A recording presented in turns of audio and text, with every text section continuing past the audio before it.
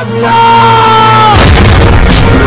kids and push your ass out Gotta put the woman in so bad I'm about pass out